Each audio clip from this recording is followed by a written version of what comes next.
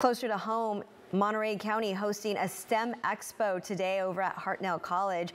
There were interactive exhibits for people to check out. The goal of this expo is to inspire curiosity and passion for science, technology, engineering, and math. And of course, there's also the ultimate goal here of keeping talented workers at home on the Central Coast.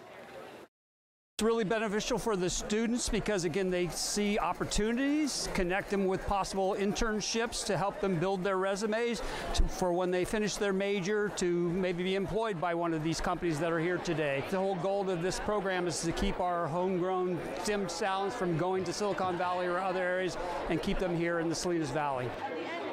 And this year's event focused on artificial intelligence and its future impacts.